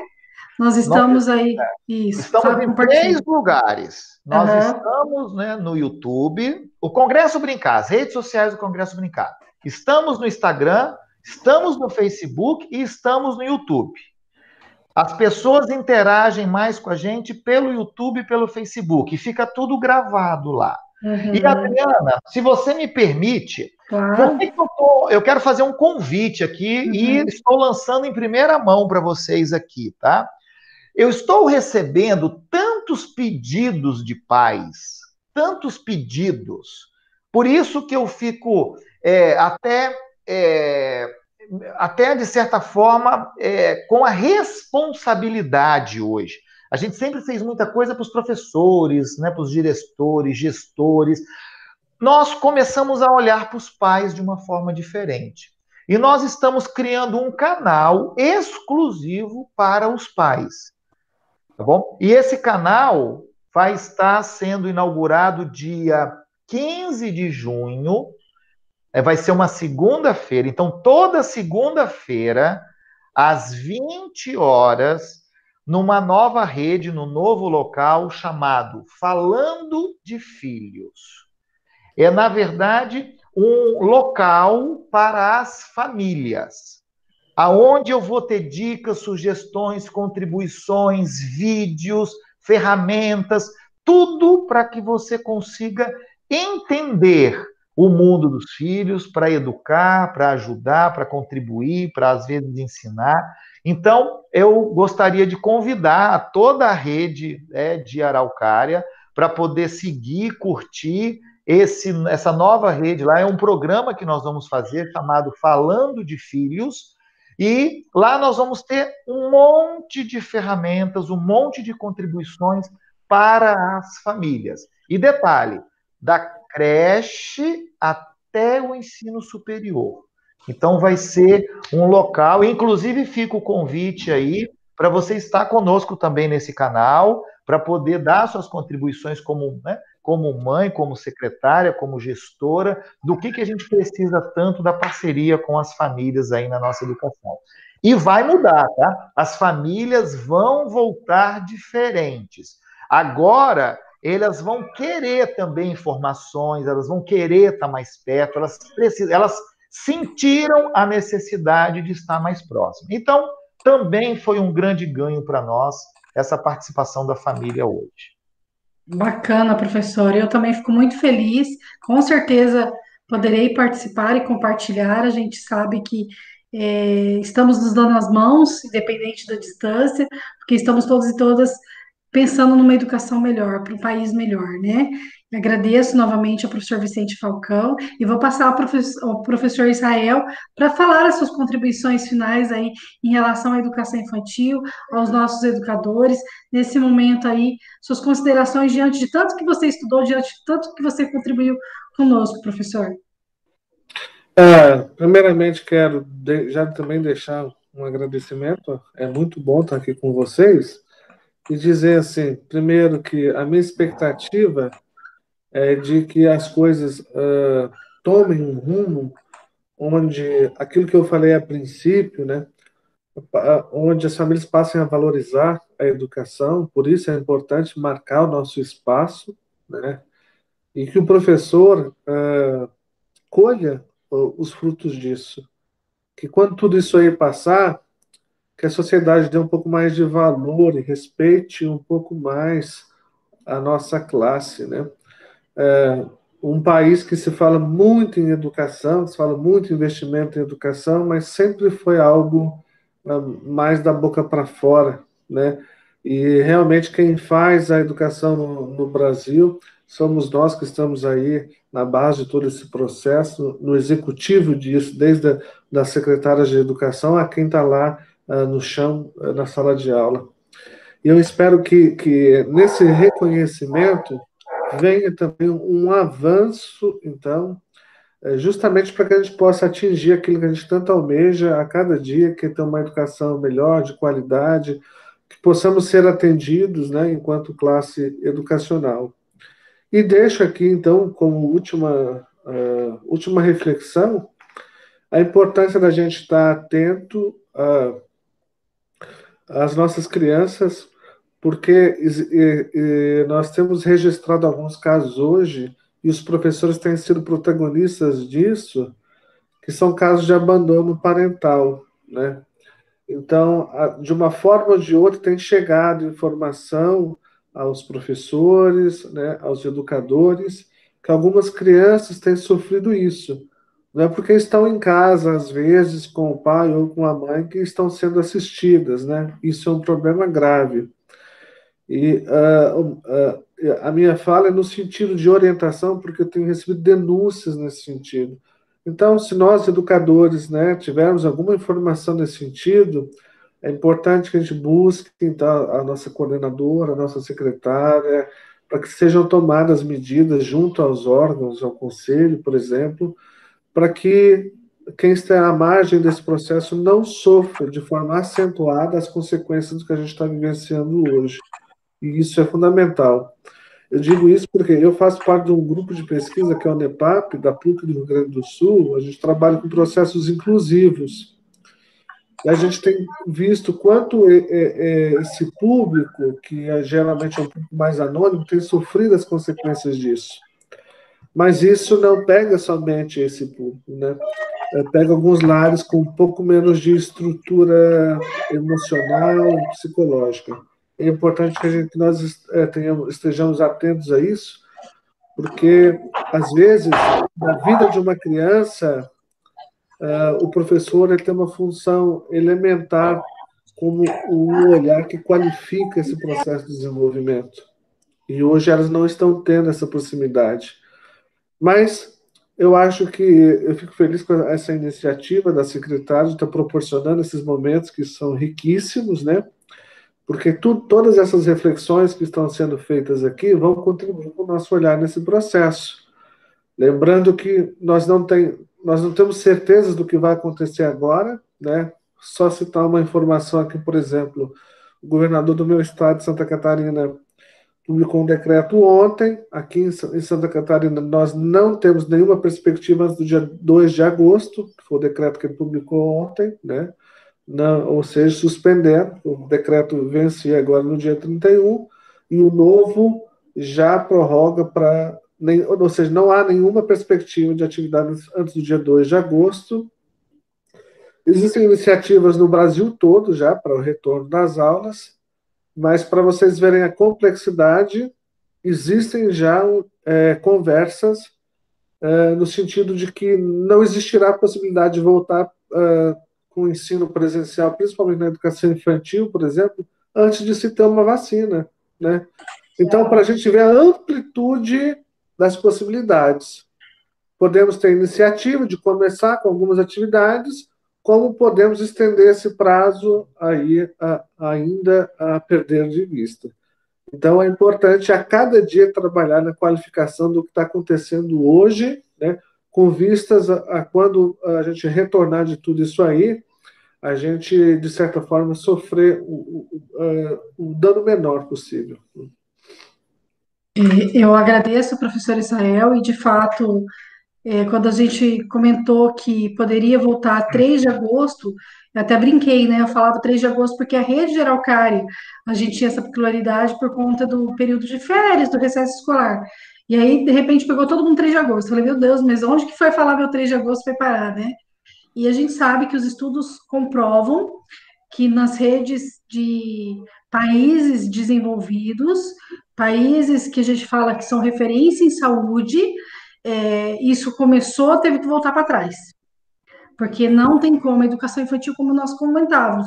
Como é que eu vou é, deixar da criança brincar com o outro, porque é da relação da troca do brinquedo, da troca da atividade, que ele acaba aprendendo essa convivência social. O que é meu é o que é meu, o que é seu, quando que eu posso dividir, quando eu não posso dividir. Como que a gente vai separar brinquedos? Então, essa consciência dos pais de que nós, enquanto educadores, estamos é, privilegiando nesse momento a saúde e a vida dessas crianças e dos nossos profissionais, a minha rede, por exemplo, eu tenho professores de vários eh, de lugares aqui da região metropolitana. Você conhece bem que é aqui próximo, né? Então, Curitiba, ela tem toda uma região metropolitana e que os meus professores, por ser a rede de Araucária concursado, vêm de vários municípios da região.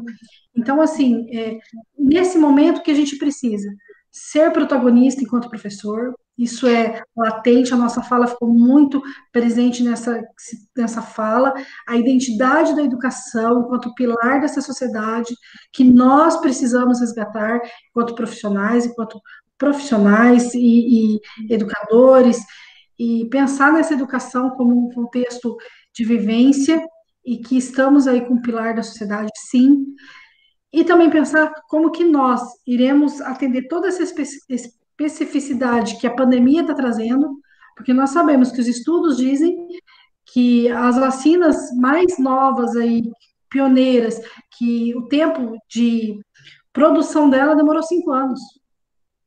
Então, como que a gente está falando de uma coisa que aconteceu aqui no Brasil no começo do ano, na China em dezembro? Então, como que nós vamos já falar que em menos de cinco anos a gente vai ter algo? Então, é, tem alguns estudos, minha irmã é bióloga, estou tá aqui no, no ambiente dela, né? E ela fala, Adriana, é, meu professor do doutorado, ele tem colocado, se a gente se comportar bem, é dois anos. Se não nos comportarmos bem, serão quatro anos no mínimo, até que tenhamos uma vacina, bem como o professor Israel falou. Então, assim, eu queria agradecer mesmo, vou falar para vocês que eu quero o número dois, formação número dois, que tem muitas, muitas perguntas que foram feitas, acabaram assim, é, mais de 15 questões eu tinha aqui para fazer, mas nós acabamos é, condensando isso dentro do nosso diálogo, né? E vou passar a palavra de novo para o professor Vicente, porque ele vai dar um presente para a nossa rede de Araucária e para todo mundo que está ouvindo, professor. Sinto muito. Sinto muito, porque não vai ficar só aqui comigo, não, viu? Então, assim, ele quer dar um presente para os nossos profissionais, aí um, um curso gratuito, né? Então, Isso pode aí. fazer seu, sua fala. Olha só, nós fizemos uma live há mais ou menos umas três semanas atrás, que era um grande pedido dos professores como construir as videoaulas, quais as ferramentas, quais as técnicas, né? Como é que eu gravo uma música, como é que eu gravo um, uma história é, de ponta a ponta, como é que eu devo gravar no quadro, o que, que eu tenho que fazer, como é que eu crio isso tudo. Existem técnicas, existem ferramentas para isso, tem uma série de regrinhas. Então, nós gravamos uma live lá no Congresso Brincar, é só o pessoal entrar no Congresso Brincar, lá no YouTube está lá, é, do José Alessandro, um parceirão nosso, um cara fantástico, que ele, na live, ele ensina todas as técnicas, todas as ferramentas que vocês precisam fazer para poder melhorar o que vocês estão fazendo hoje e ele, dentro dessa live, dentro dessa live, em algum momento dessa live, ele dá o curso para vocês. De graça, entendeu? Então é um curso, inclusive, para você aprender. A depois que você gravou, como é que você manipula, como é que você coloca texto, como é que você pega uma tradução de Libras e coloca ali, como é que você troca o fundo, como é que você bota musiquinha, como é que você inclui um vídeo, como é que você inclui. Enfim, é tudo aquilo que a gente precisa hoje. Então, eu gostaria de deixar esse presente para vocês e para todo mundo que vai estar nos ouvindo aí, que estiver ouvindo essa, essa live, está lá nas redes sociais do Congresso Brincar. Então, é só entrar no YouTube, procurar, é uma das, das primeiras que nós tivemos lá, que é eu até mandei o link para a professora Adriana, depois o, né? A sua equipe coloca aí também na telinha para gente, coloca no link lá, no, de repente, no final do vídeo, da live, não tem problema nenhum, dessa descrição. É um presente para todos que estão aí. Esse é o nosso objetivo agora, né? De fazer uma educação diferente, aproveitar e dar, deixar nossa contribuição, Adriana, né? Então, a primeira pergunta sua, poxa, por que distribuir essas coisas de graça? Por que dar isso para os professores? Esse é o momento que a gente precisa aproveitar para fazer a revolução na sala de aula. E vamos aproveitar todo mundo junto, de mãos dadas. Agradecer o Israel pela, pelo convite, né, Israel? Obrigado por estar presente conosco. Não só ele, mas, Adriana, o que você precisar aí de outros profissionais, é só falar comigo de outros assuntos, de outros temas, que terei o maior prazer de indicar para vocês aí. E, enfim, eu acho que. E detalhe, não tem essa coisa, nós estamos aqui para entregar mesmo, é assim que se faz, é assim que tem que pensar, toma cuidado com isso, aquela coisa toda, né? E de uma forma muito é, rápida, prática, direta, e é isso que o nosso professor precisa hoje também, buscar esse tipo de conteúdo nas redes. Tem muita porcariada, mas ele automaticamente vai selecionando o que, que é melhor, quem ele vai seguir, quem ele vai acompanhar, quem vira referência para ele. E esse é o nosso papel. Esse é o papel do Vicente Falcão, esse é o papel do Instituto Conhecer. Nos sigam, nos acompanhem. Meu Instagram é vicente.falcão, também nas redes sociais. Tem o, o site lá, palestrantevicentefalcão.com.br. Estou à disposição para ajudar e contribuir sempre. Contem comigo. Obrigada, professor Vicente. Israel, tem aí também a rede social que você queira compartilhar conosco? Sim, é, é, tem o site www.israelboniek.com.br, tem o Instagram, né, Israel Boniek, e também o Facebook. Lá vocês encontram meus livros, né, encontro algumas publicações. Recentemente fiz uma publicação sobre 10 reflexões sobre educação infantil em tempos de pandemia. Vocês podem baixar, né? Fiquem à vontade. É um prazer, né? Eu sempre compartilho, converso com as pessoas nas redes sociais. É só uh, uh, buscar que vocês vão encontrar facilmente. Quero agradecer do fundo do meu coração a participação do Israel, do professor Vicente, das minhas meninas, a Vlad e a Simone, que estão aqui fazendo toda essa questão da Libras, aí fazendo a interpretação para nós, e também dos meninos do TIC, lá, o Kleber e o Ricardo, que estão ali a todo momento me monitorando, me organizando, me auxiliando. E mais uma vez falar gratidão. Obrigado. E para terminar, para a gente se dar tchau, eu vou fazer uma fala do Paulo Freire, professor Vicente. Eu já tinha previsto uma fala dele, mas eu penso que para fechar, para amarrar tudo que a gente colocou e fazer um grande laço que dá aquele abraço, eu digo para vocês, parafraseando Paulo Freire, é preciso diminuir a distância entre o que se diz e o que se faz, até que num dado momento a tua fala seja a tua prática nosso grande professor Paulo Freire. Um grande abraço. Acompanhe a gente nas redes sociais, canal YouTube, Educação Araucária. Fique com Deus e até a próxima.